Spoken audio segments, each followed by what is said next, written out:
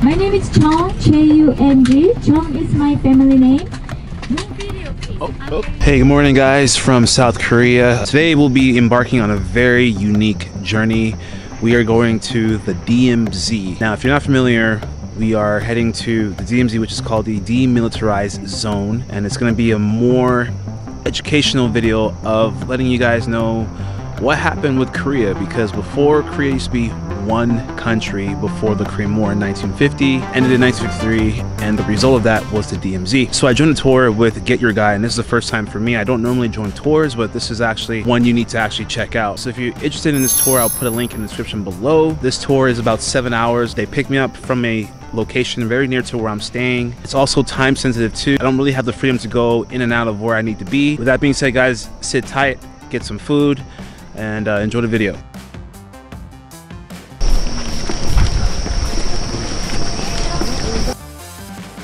We're at like this meeting point here where we have a very small window of things to check out around here and after that we have to meet up at our bus at 9.15 on the dot and if we miss that bus that's it.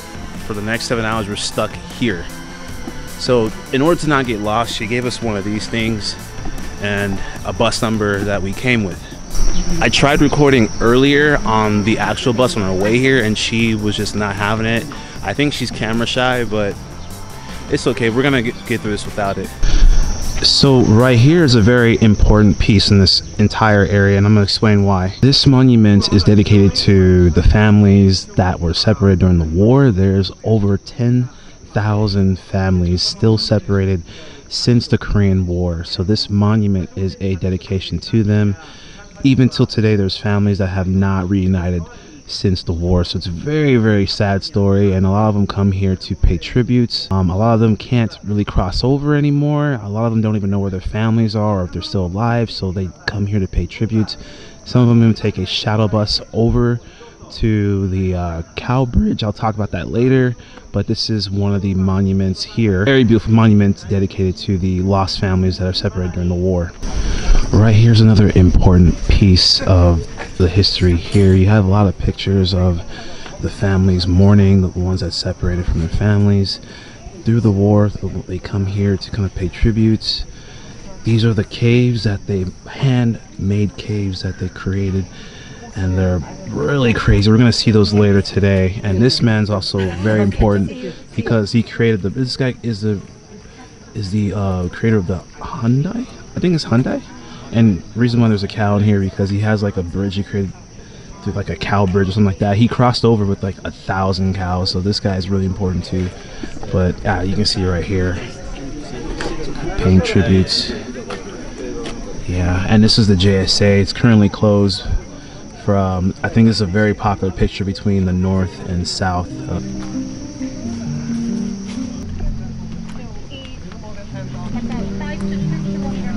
Okay, it's a little confusing, but this bridge I'm on is the Freedom Bridge. It's this old wooden thing that I'm standing on right now, and it's for that reason it's called the Freedom Bridge, is because during the war, on both ends, north and south, they had their prisoners, Korean prisoners, and for that reason, when they came to Freedom Bridge, they would release them.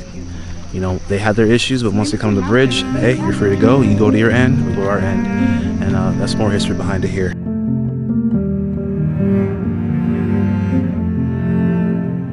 That general area is pretty much all we can show you right now. There's only a little bit of time left. I want to see if I can get some breakfast before we start our day because we have to leave at like 9:15 in like 10 15 minutes. So let's see what kind of food that they have over here. This this area is really unique.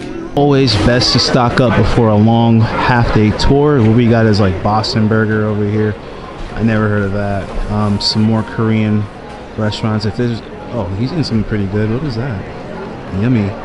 Okay. Uh, pretty much just try to look for some snacks, water, fruits, nothing too crazy.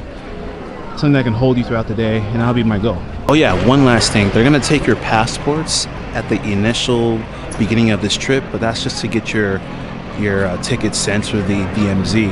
At the very end, when we head back over there, they're gonna give our passports back, and we'll be on our way out.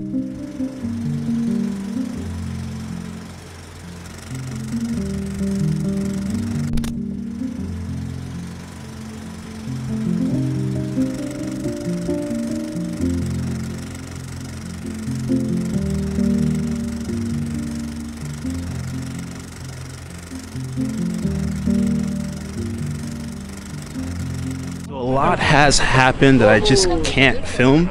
So let me start off by saying we crossed a bridge called like Cowbridge, and we had to get checked in through South Korean uh, military. These are much younger guys, so they can't be on camera.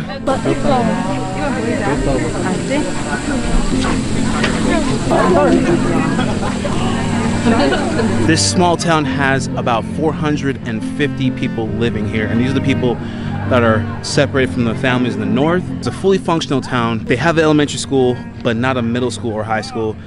I learned that to get further education, they have to go back to the city for that. It gets even crazier. I can't, I can't even record any of this. So we learned about the tunnels that you, the North Korea used to infiltrate the South during the war. No, this was after. So after the DMZ was created, which was like a peace peace agreement between the UN, North Korea still created tunnels, about four of them, after DMZ to infiltrate South Korea. So we were able to go to those tunnels right then and there and get a live experience of that.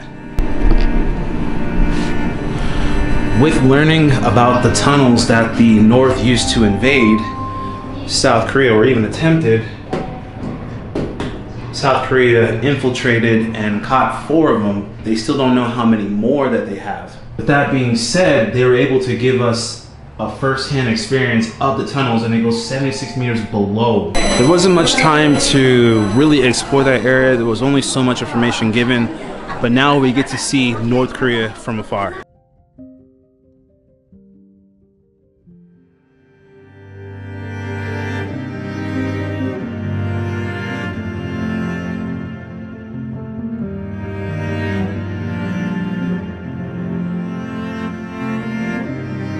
Able to see, but right behind me is North Korea. And if you look at a distant part of it, like right back, back there, you can see the South Korean flag. And even further, you can see the North Korean flag.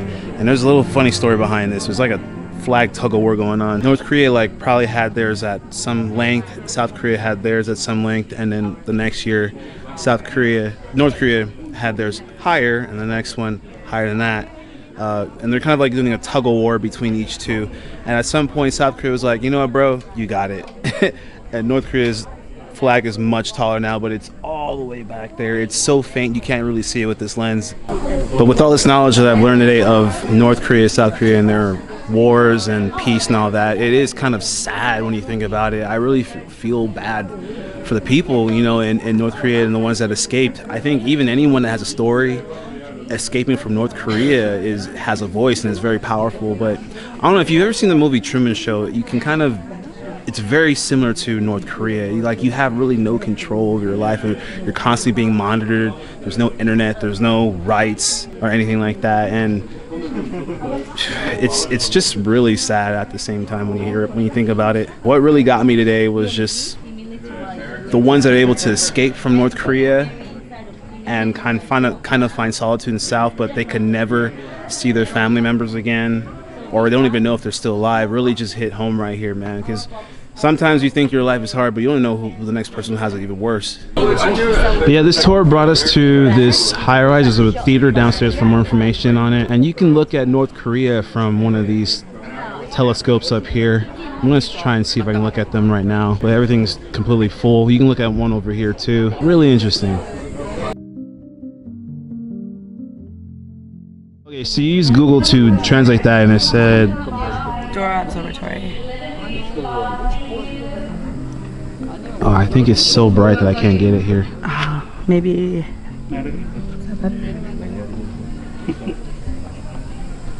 There you go. This school now, from first to sixth grade, K-12 only. And I keep looking to the left side, everybody. You can see the entrance of the bunker, underground bunker here, everybody. Okay, here, bunker, underground bunker, entrance of the bunker, bunker, bunker. Okay, so it looks very small, but I heard that underground is very big because if they are attacked by North Korean people again, 450 residents have to go into the bunker together with emergency food. That's why I heard the underground is very big. Okay, but no shops at all, right? That's why even they do food shopping in the local supermarket where we're going now. That's why you can see some ice cream, snacks, and organic food in the supermarket here. The DMZ tour is over. I'm back at where I'm staying, but I kind of want to talk about the very last point of the tour. Remember, I mentioned earlier about a village of 450 people? Well, they actually showed it to us in the very end of the tour, and we did a small detour of the area. You get to see what the houses look like. Some of them living pretty good, some of them are living okay, and there's one that was really living very well. We also got to see the elementary school too. It's like yellow, can't miss it. The only school in the whole area. And then we ended off at a kind of gift shop, grocery store type of thing. You can buy whatever you want. And we came back, and now I'm back at my place. So if you guys are interested in this tour, let me know in the comments below. I'll put a link in the description below so you can have access to this tour. The lady was super phenomenal, very funny. I think she did a great job of really handling the situation and all of us and taking us to a very um, a very interesting space within Korea. So I'm gonna head out, guys. I'm gonna get some. I'm gonna get something to eat. If you have any questions, let me know in the comments below. If you're not, if you're new to this channel, subscribe. If you're not, it's all good. I'll see you guys in my next video, guys. Take it easy.